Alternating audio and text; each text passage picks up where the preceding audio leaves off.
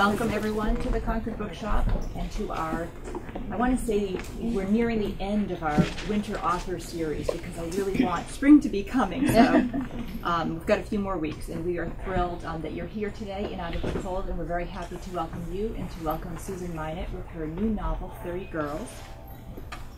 Oh, I'm so sorry. Yeah. Um, the novel springs from a horrific real event, the 1996 kidnapping of 139 girls from their Catholic school in Uganda. The perpetrators were members of the Lord's Resistance Army, which is a rebel group headed by Joseph Kony. Minot fictionalizes the event, and she adds a second storyline centered around Jane, an American journalist who is sent to, or actually sends herself to interview some of the girls after their escape a year later. There's a uh, sharp contrast of haves and have-nots in this. There are remarkable scenes, um, beautiful landscapes where unspeakable acts take place. They startle the reader, um, who gets to see both sides of this Ugandan coin in this novel. 30 Girls is called by NPR extraordinary, panoramic, poetic, and the New York Times says it's a novel of quiet humanity and probing intelligence. Minot takes huge questions and examines them with both a delicate touch and a clear-eyed, unyielding scrutiny. Susan Minot is a graduate of Concord Academy. She earned her MFA from Columbia. She's an award-winning novelist, short story writer, poet, and screenwriter, dividing her time between New York City and an island off the coast of Maine. Please help me welcome Susan Minot.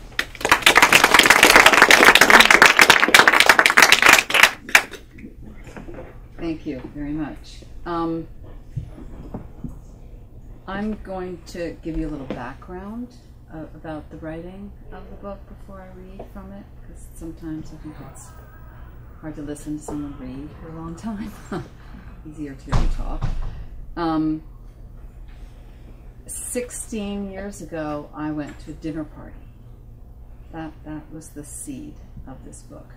And if I hadn't gone to a dinner party, I wouldn't have written this book.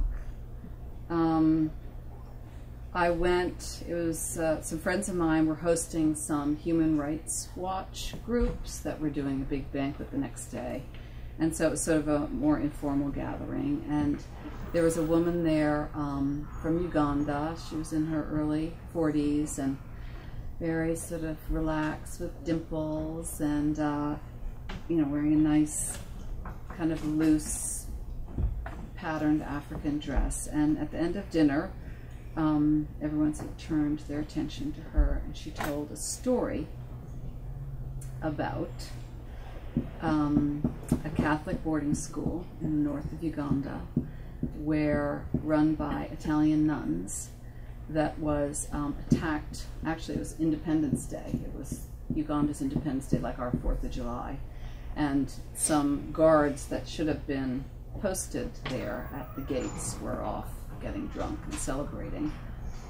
So this group of bandits, I would, even though they are called, as, as my introducer said, uh, Lord's Resistance Army, they are really more of a pack of bandits. They're, they're not like a rebel group trying to truly overthrow the government. Um, they stormed the dormitory and led out um, 139 girls into the night. And the um, one of the Italian teachers, a nun named Sister Rachele, as dawn was coming up, she said, well, we have to go and get, we must go get the girls. And she went with one of the teachers and chased after them through the bush. Um, it's a very poor agrarian um, landscape and people travel by paths and they would find little you know, someone's sweater that had been dropped, and they followed the trail.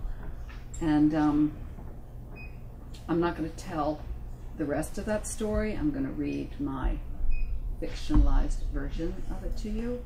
But at the dinner party, everyone sort of, you know, stopped and didn't really say anything. And and and the woman whose name was Angelina said, and the reason I'm telling this story is because one of those girls is my daughter, Charlotte, and she is with the rebels now. This had happened a year and a half before, and I'm here to try to get attention to this problem. And everyone, of course, silence. Was horrible. And someone said, Do we know about this? which was obviously a question she couldn't answer. but the answer was that no, we didn't know about that, that um, I'd done up till then. And I thought, you know, maybe I can write about this if this isn't something that we uh, know about. And I was, I had a trip planned in a couple of months. I was going back, so I organized to write about this this particular story and to find out about what was happening to these children. Um, tens of thousands of which were being kidnapped, taken out of their huts, you know, very poor um, kind of villages. Parents would be killed, they'd enslave the children, make them kill other children so they wouldn't be able to return, they would feel scared about trying to escape. But they did escape a lot because it was a really kind of slipshod operation. They tra- moved around a lot. There wasn't one big camp. They crossed the border into Sudan. And so many children had not only been abducted, but had escaped and come back, needless to say, traumatized. Um, the girls were made to be wives to the rebels. They had children. They caught AIDS. I mean, it's just such a disaster.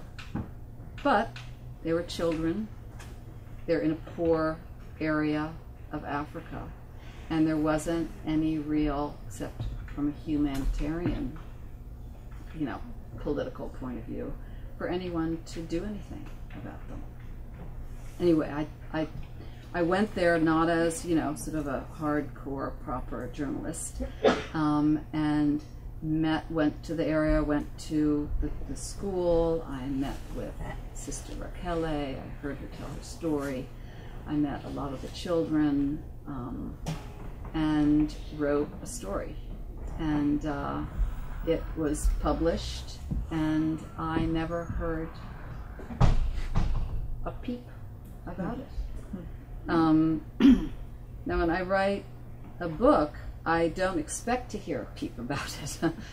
I write fiction sort of in the spirit that I read it, which is that of a stranger I happen upon who has sort of, that is the author that I'm reading, um, put out some story that I share with her or him.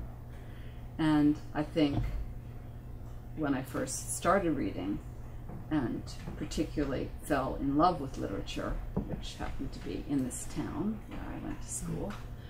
Um, it was one of the things that inspired me to want to write. I thought, I want to do what these writers are doing for me.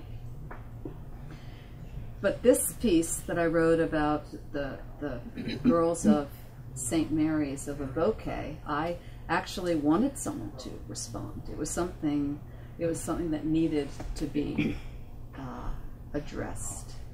So I was disappointed, but life went on. I thought, well, I guess this is what it's like to be a journalist, and and uh, I I didn't attempt any other things like that, not out, out of discouragement, but I I was doing other things. I was writing screenplays, and and when it I took some time off um, writing books. I had a daughter, and that took up a lot of time. Um, but when, about uh, seven years ago, I, I, thought, well, it was really time to write a book, partly for artistic reasons, but I think it's safe to say more for financial reasons, which, as Samuel Johnson said, is the only reason anyone should write. Um, I had those girls just there in front of my face. I felt like I hadn't really told their story. And I thought, well, you know, the, the fiction writer's realm um, certainly is the interior life of a person. So I thought, well, maybe I can try to write their story from this other angle. And I thought it would take me sort of two or three years, which is how long my other books had taken. But after three years, I was still very much in a tangle with it, and then four, five, six, seven. Anyway, it took seven years to write, so it took a, while to write. Um, for a number of reasons, but I finally did. So I'm going to read you first the end of that story. Um, I, again, fictionalize it so the sister Raquel of real life is Sister Julia in this story, though Kony is still referred to by his evil own name. It should not be let off any kind of hook. So she's she's going after the girls. It's about noon by the time she looks across a valley and she sees probably 20 or 30 rebel soldiers and all the girls tied up with, with ropes around their waists and and she you know with sort of trepidation approaches and uh, they are not um, she's welcomed by the commander who holds up his rosary and says, you, you come, come, come sit with me. So they, she walks along with them for a long time. After several hours, they came to a wooded place with huts and round burnt areas with pots hanging from rods. It looked as if farther along there were other children and other rebels. She saw where her girls were led and allowed to sit down. Captain Lagira brought Sister Julia to a hut and sat there on a stool. There was one guard with a gun who kept himself a few feet away from Lagira.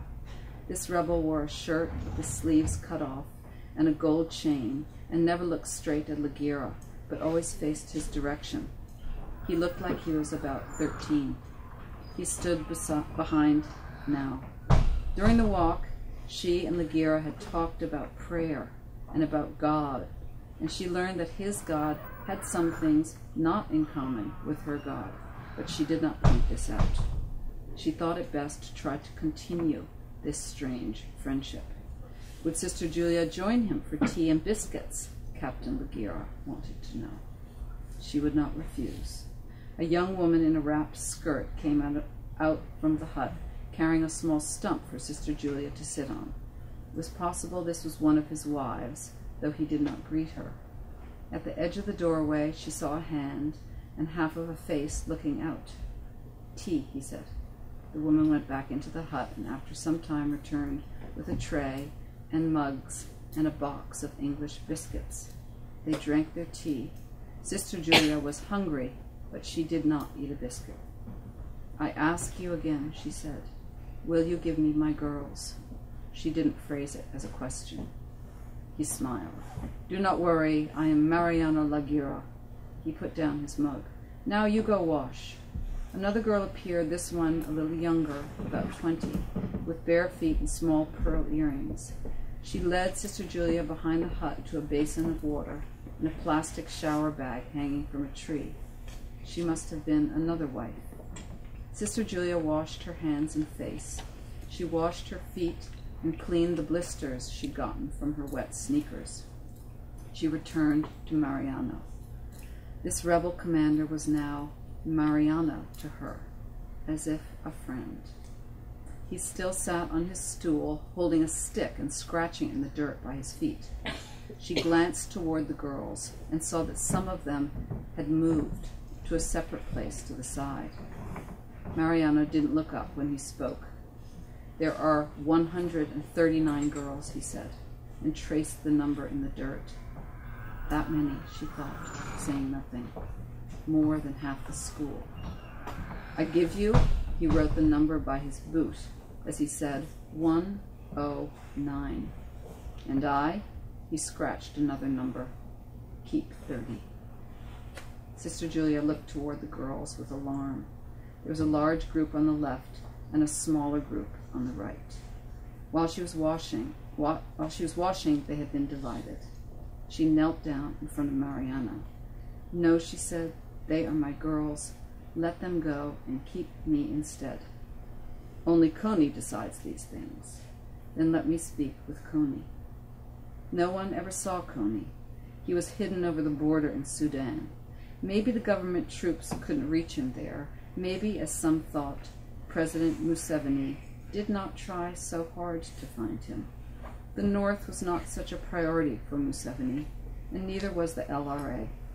There were government troops, yes, but the LRA was not so important. Let the girls go and take me to Kony. You can ask him, he said, and shrugged. Did he mean it?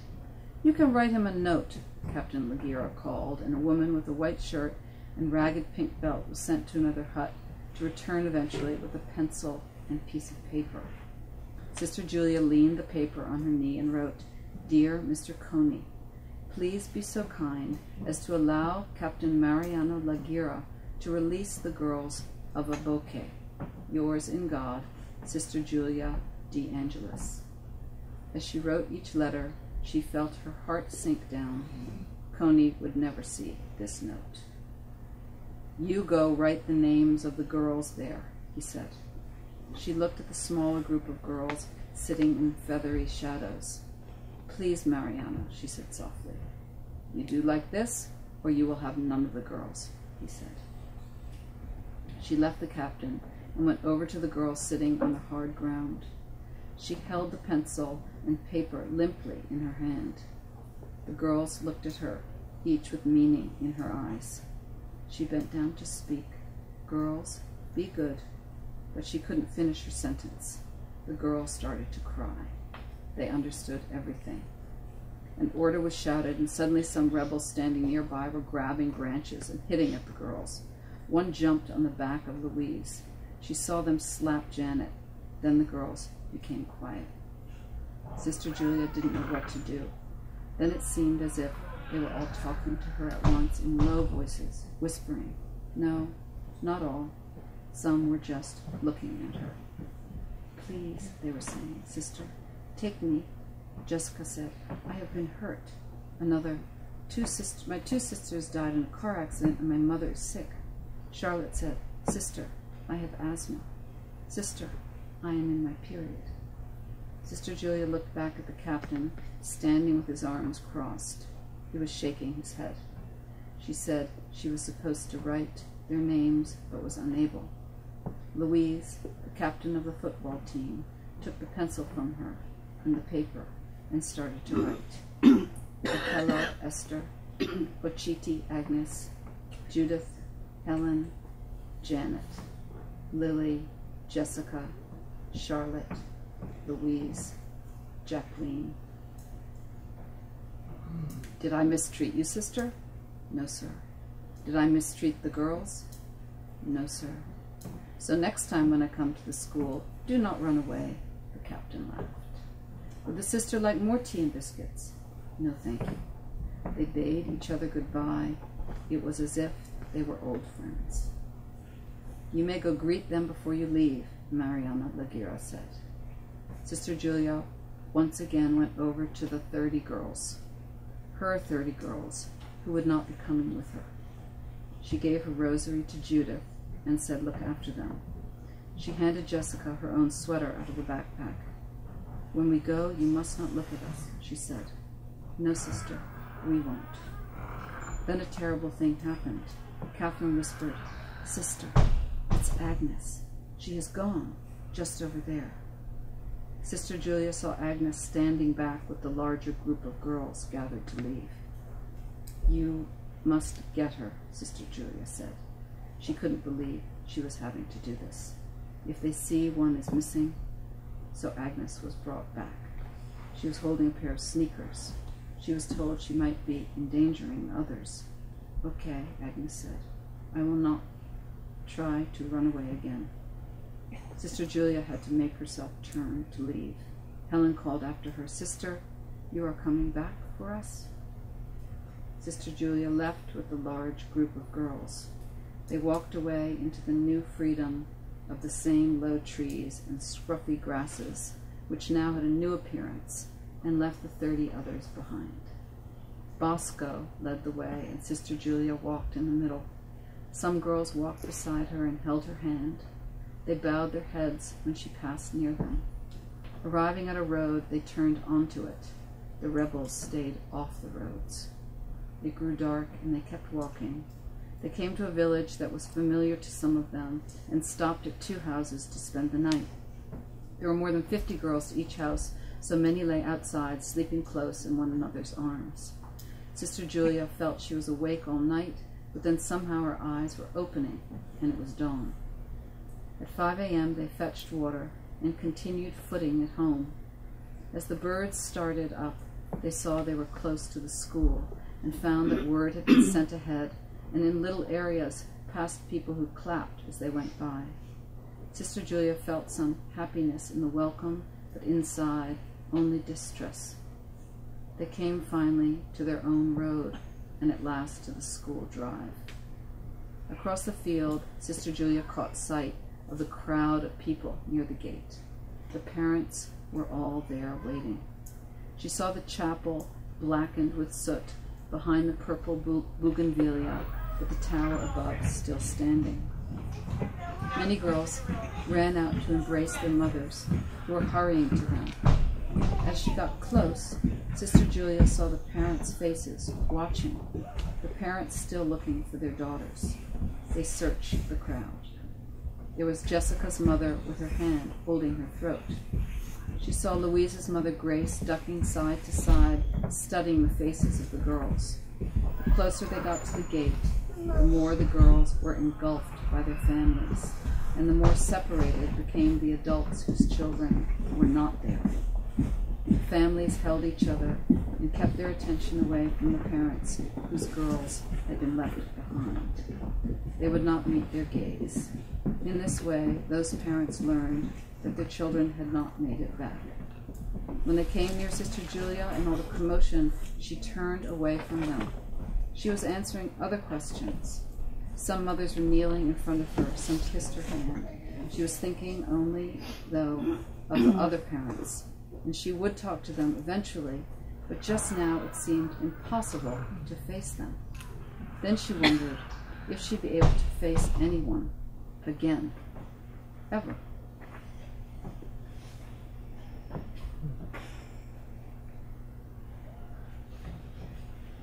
So in the book, we follow the stories of two different people, characters. Um, one is is Jane, the American writer, um, and one is a Ugandan girl, nearly 16, who was one of the one of those 30 girls. Um, who was with the rebels for a couple of years and escaped and is at the start of the book in a rehabilitation center where she's hopefully being treated. I'm going to give you just a tiny, just a page of Jane, and then I'll give you a little of Esther. This is so to tell the state of mind that Jane's in when she arrives in Africa. She stepped out of the plane and over the accordion accordion hinge of the walkway to continue up the tunneled ramp. One always felt altered after a flight. There was the pleasant fatigue of no sleep, and one's nerves closer to the surface as if a layer of self had peeled off and gotten lost in transit. The change was only on the surface, but the surface was where one encountered the world. Her surface was ready for the new things that would happen in this new place, ready for anything different from what she'd known. There was a soggy tobacco smell at the gate and loose rugs with long rolls no one had bothered to smooth out. She stood in a line of crumpled people holding their carry-ons and inching forward to wooden tables where clerks slowly stamped passports after a sliding look from the picture to the face. She was finally away. She couldn't remember the last time she'd felt the expansion, the air humid, the door opening, dawn light reflected off a hammered linoleum floor as she descended an old-fashioned staircase to the black carousel empty of baggage. There was a long row of bureaux de change with one short counter after another empty, and behind them a large plate glass window with palm trees being eaten by a white sky. Lackadaisical drivers were leaning on the hoods of their cars, half glancing around for a fare. Dark haired men strolled in short sleeved shirts. Women in thin dresses moved slowly. Everything mercifully said, This is not home.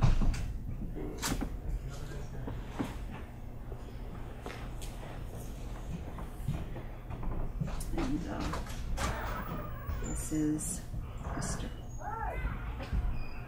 We hear directly from Esther instead of about Esther. I sit among the girls in the shade of a tree not so far above my head. It is peaceful with their voices in the air, talking quietly. It might be bird song for all I understand or care. I think I will never be close to anyone again. We are just now supposed to be drawing pictures of things we would like to forget. You can see why this is strange. We must think, in order to draw them, about those terrible things we would rather remove from our minds. We are told that drawing such things will help us remove them. Instead, I am drawing the tree past the workshed toward the field. It has a curved trunk and resembles a woman twisting to look over her shoulder. Today I woke with a pressure on my eyes, pulling my forehead. I thought, perhaps I am getting a cold. Maybe I am. My mind is uneasy. Since being away, I am used to my thoughts being disrupted. They have cracks in them. I remember in a soft way, as in the distance, how it was to be whole. Nothing. It was like nothing. You just had wholeness. You did not feel it. I would not have known it was there if I had not become as I am now. It has offered me perspective. It is interesting how one can understand a way that one was only after one is another way. Beside me, the girls' heads are bent close to the paper. They use ballpoint pens and pencils, which are better if you want to erase. Red pencils are often used for the blood and the bullets. At night, the bullets were red. Polly is beside me. She leans on a cardboard cracker box. She has drawn a house with a thatched roof and doorway, her house. Soon she will add men with pangas, a chair on fire, and her lute broken on the ground. She was practicing music when she was taken. Polly's from the country near Ongoko, not from the town like me. I am from Lira town, which is not far, just a day's walk. Past the picnic bench near the shop, the boys are together, they're drawing. I see that one, Simon, with them. His back is to me with his bad legs straight out. When he was shot, the bullet was near the bone, so his knee is not so good. He swings his foot around when he walks instead of stepping straight. The scar looks like a crack in a window with jagged lines coming out from a shiny pink center against his dark skin. The scars on us are not straight. Simon is good at drawing, so his drawings are tacked up in the bicycle repair. He's skillful at details, doing three shades of camouflage with one lead pencil.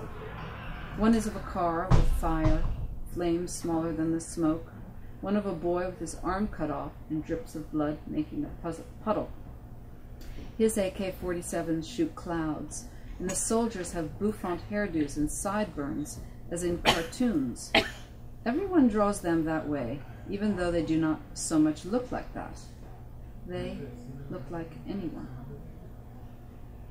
Our camp is called Kiryandongo Rehabilitation Center, and we are, during the dry season, a dusty circle cleared in the middle of tangled bush a little ways off the Gulu Road. There are some huts in the office and two sheds where Charles, our head counselor, has an office. The kitchen has a small roof and all sides open to the fire pit and brick oven, and there you see Francis cooking. Chickens peck around. We had chickens when I, when I was small, and I liked to hold them as pets. They were nervous, but if you keep patient, they will calm down and stay in your lap, even if their eyes are startled. In the work shed is a shop for making instruments and building chairs and repairing bicycles. Behind in the trees is a large white tent that came from Norway where the boys sleep. The ventilation is not so good and having 60 boys inside, the air is unmoving and hot. The girls sleep in dormitories with bunk beds so close you can reach over and touch the girl next to you. Holly, in the upper bunk beside me, has decorated her area with strings dangling empty boxes of close up toothpaste or fortified protein. I have no decoration. Underneath Holly is May, who is very pregnant, due in a month. Her parents do not accept the child coming and have not visited May. At Kiryandongo, we are all united by a thing that also divides us from others. We look at each other and know what we've been through. We also look away for the same reason. Since my return, I meet new challenges of the mind. I have decided to forget everything that happened to me there, and so look forward to the remainder of my life. I am not so old, nearly 16. My life could still be long. Before my life was nothing to speak of, you would not have heard of it. Now they tell us it is important to tell our story. They have us draw to tell it, but I am not so good at drawing. I have been back about two weeks. The days are strange. I am not used to the peace. I am not used to waking without someone hitting my feet. The first week I slept a great deal and woke with swollen eyes, which in the mirror had dark hoops under them. There is a heaviness in me where gladness does not reach. I know there should be gladness, that I have returned. I am free, but gladness does not come to me. When they ask us to speak, I cannot find words. What I have inside is for me to look at alone. Who else can know it? Not anyone. I cannot say it out loud. How can one tell a story so full of shame? I listen to the others talk and understand how they struggle. We knew the same things. I stay apart to keep, to make peace with it inside myself, if I am able. With the rebels, I learned that inside is where it most matters, in any case. The boys finish their drawings, then get up and kick around a ball in the dusty field. Boys forever like to play with balls. This is better than hitting each other. Simon is running with his bad leg. Charles claps his hands, getting them to go faster. Here at Kiryandongo, they always want you to join in. They say, Come on, I know you can run. Come on, get up off your seat. I prefer to sit. When the ants come, I brush them away. If they keep coming back to me, I pinch them between my fingers. Maybe I will get up when I'm ready. Maybe I will not. I hate everyone. I am one of the abducted children. Did I tell you my name? I am Esther Hakim. Thank you.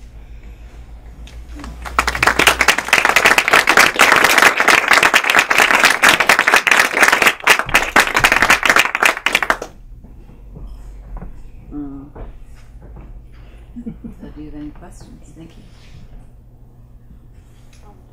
I was just going to ask. I, have read Monkeys and Evening, and um, this one just seems so different. I mean, those were kind of autobiographical. Was this real hard for you to write because it wasn't so much, you know, things from your life, or was it a whole different um, process? I'll let you in a secret. Very much, I felt I drew on my life to write this book. Hmm. Um, in the most sort of the widest sense of the word, which is what is it like to be traumatized? What is it like to feel you don't think you can cope with something? Um, so I was really focusing on, even though, yes, the terrain of the story is, is a foreign one, mm-hmm. i.e., not one that I know as well as I know New England. Um, the terrain of the psyche, I would say, that we all share is um, not a foreign one. You know, I, I, I don't purport to know what it's like to be enslaved and raped repeatedly and made to kill people. Um, but I think if I think people can we know what it's like to be alive. We know what human experience is like. We are able, with our imaginations, to fathom it. So, yes, I did push further into another place to fathom something that wasn't so directly. um, yeah, let's hope one keeps on pushing oneself, right?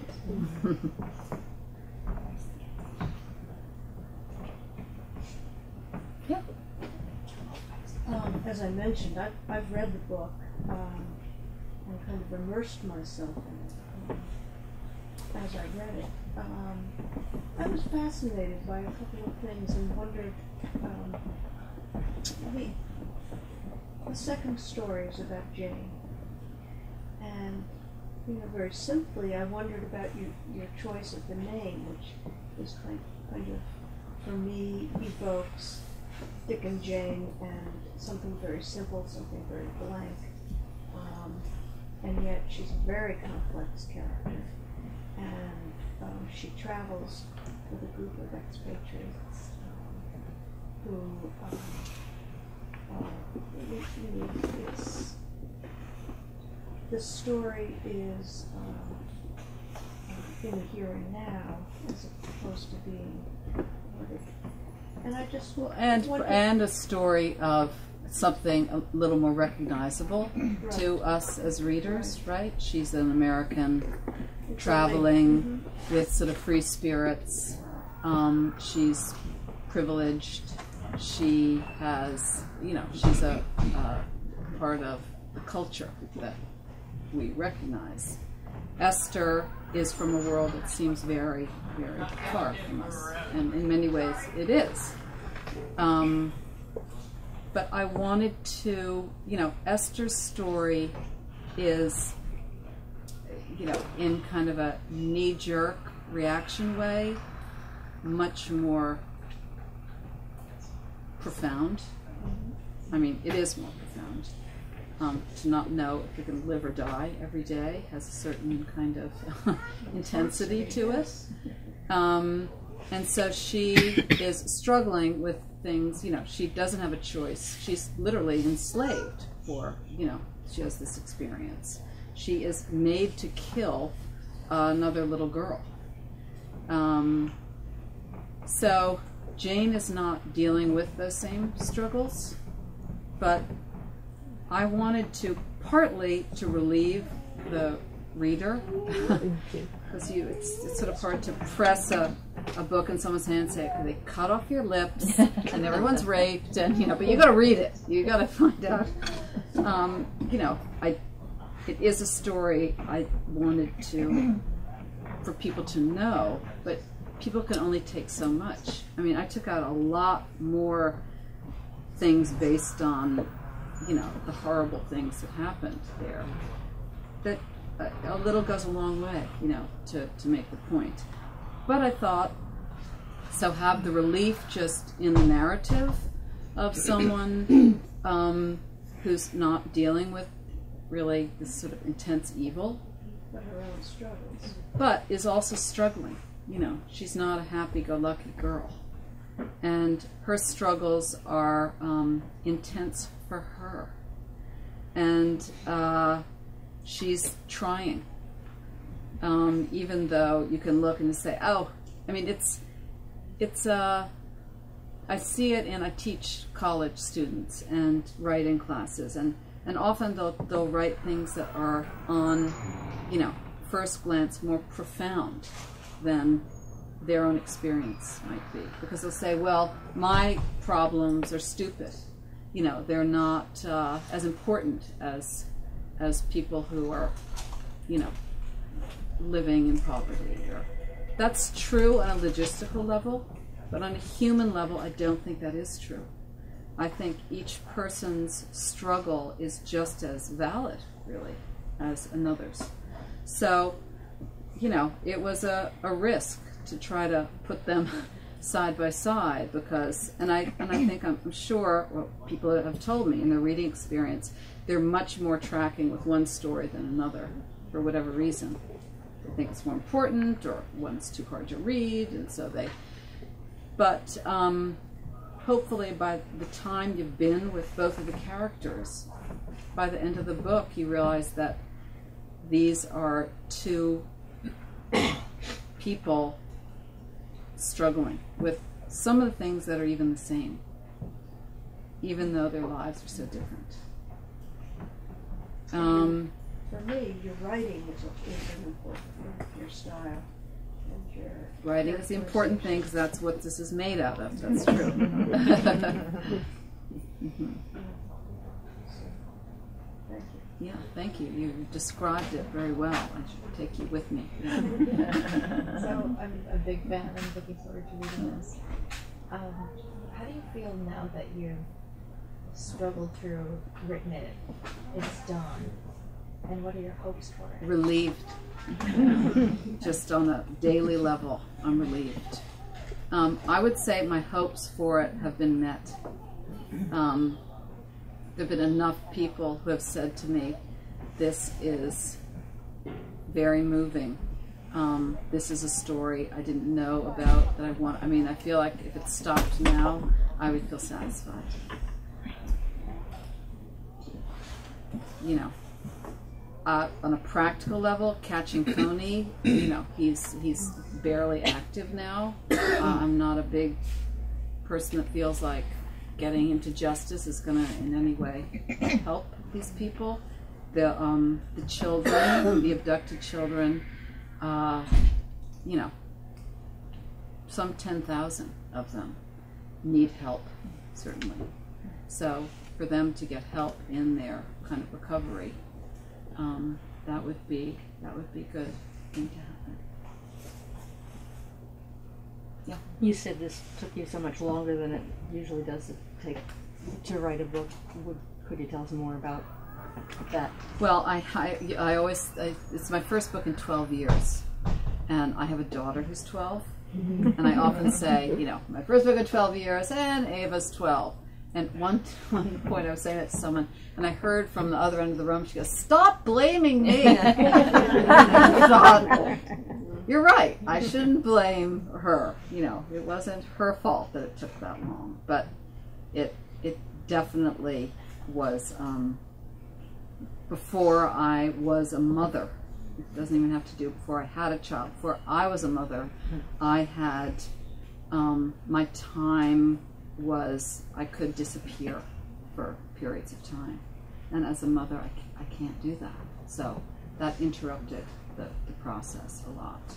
Um, I also just um, for the the content of the book, I wrote a lot more than ended up getting into the book. So there's a lot of time writing in big different directions. You know, I was going to try to follow more of the girls, each one of their stories of the of the abducted girls, so you could see how each one, you know, three or four of them, to see how each one coped with trauma, because that was one thing I really wanted to look at in the book. Um, and it just it it was too much, know. It was too much. Yeah. So, did, has it had an impact? I mean, it sounds like it has. I don't know when the book came out. Um, Ju- it just came out a couple of weeks ago. okay. Yeah. So, So, as far as the feel- practical Ugandan, don't know. Yes, Yeah. don't know. and uh, has your life been more involved with that that cause as a Well, I um. I feel like my involvement has been seven years of thinking about it every day. So that's been my involvement till now, Mm-hmm. and now it's, you know, we we shall see. Yeah, can't imagine. I'm, I'm not gonna forget about them now. Mm-hmm. yeah, there are. I mean, I, I I am going to prepare. This is my first. These are my first few readings that I've done in the last couple of days. This is my third reading or something, and I realize I need some practical response for people about what can we do. Is there something we could do? I mean, if anyone is at all, you know, familiar with the internet, you can figure it out. But it would help if I had, you know, you can go to St. Mary's of Aboke, girls. You can go rehabilitation centers for abduct, abducted children in Uganda. And there are plenty of, of sites and organizations where one could, which is the way to help donate money. Yeah. So did you talk with um, these young women through an interpreter when you were talking Um? Some of them, uh, most of them spoke. The ones in the uh, the, the girls from St. Mary's. Um, there were at the time I was there. I think only four of them had escaped of the of the thirty, and they spoke English. Huh. Yeah, the the the St. Mary's school was, even though. Because there are a number of different languages that they speak in the north. They speak Lore. They speak Abok, uh, um, I can't even remember the other one. Uh, but the the nuns spoke English and all the children spoke English. So English was the Yeah. Can, can you let us in at all about you know your publisher's thoughts about making this book um, approachable, or you know any any thoughts they had about you know you tackling this topic? Um, no, I couldn't tell you anything about that. Um, my publisher's thoughts. Uh, my, I can tell you that I have a um, editor um, at Knopf, which is where this is published, who was very. She she happens to be a really good friend of mine. I don't know which came first, the editor or the friendship, who was was very supportive um, all along um, as I was writing the book. Uh, I remember feeling like, just in a sort of practical way, about two years ago, there was a um, a video about Joseph Kony that sort of went famously viral.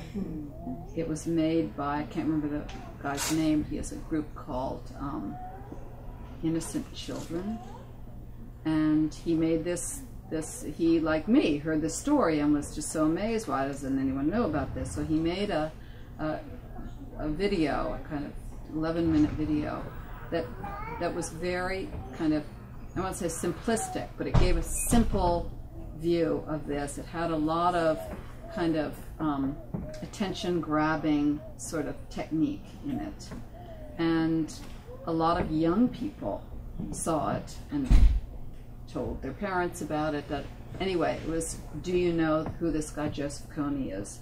And after two weeks, I think something like you know, 400 million people had seen it. Like it went, and it, it actually became more famous for number one, a video going viral. People finally heard this man's name, and also that the the, the sort of earnest guy who had made it was so attacked for getting some facts wrong and for whatever. He had 400 million people with an opinion, or you know, and, and the ones that were going to give him their opinion weren't the supportive ones. That he sort of had a psychic break and kind of went crazy. It was like running naked through the streets oh and hospitalized. And some poor guy. Remember that? Yeah. So that's you know, and that's what people. Yeah. Oh, I remember that. You know, wait, LRA. I remember that part. You know. yeah. So, but when that was happening, I was whatever. I, I thought maybe a year away, but it was two years away from finishing the book, and I thought, damn, you know, this would be good if I could. This would be out now, because someone kind of has heard the name Kony. Yeah. So how many of the 30 girls have es- are So Yeah. all, um, well, four died in captivity, and all other 26 um, returned. Um, the last one, because this was in 1996, the last one returned after 12 years. Wow. And how old were they when they were abducted? They were between, I mean, some were, some that had been taken from St. Mary's were, I think the youngest was maybe 10, mm-hmm. 10 to mm-hmm. 16. But when the girls were selected, they chose sort of, I think, kind of 13 to 14, 15 year olds, stronger looking ones. And mm-hmm. those were the Aboke girls. Yes, You started your next book? I have. um, but I've actually started three other books. Great. And that was another thing I was doing while I was writing this one. I think every once in a while I just needed a break from it myself, from the material. So I started, yeah, three other books in various stages of. So which one of those should I, you know, am I going to do? But, yeah. I haven't been doing a lot of writing lately, though. I have to say. Probably have time for one more question. Can I ask? Yeah. Was Charlotte one who was returned? Did she Yes. get to be returned? Yes, she she she returned. Um, she had two children with her, two sons. Have you kept up with her mother? I haven't been in touch with her since. I was waiting till I finished the book. To um, yeah, I haven't sent her a book yet. I think they'll be grateful for what you've done. I mean, I, I think it's true. You say you won't, the characters won't leave your mind, and the real figures won't leave your mind. And I think as a reader, that we all feel the same way. Yeah, good. Thank you. Are there? Is there another question from the audience? Oh, one. Is it going to be a movie? you know what? People always love this, but it, it actually is being optioned Cool. Mm-hmm. Um, by Rachel Weisz. Oh, yeah. And she wants me to write the screenplay, and she wants to play James. Oh, nice. You must be very happy about that. I'm very happy about that.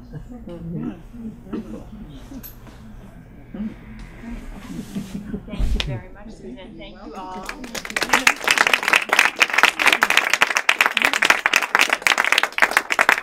Podium out of the way.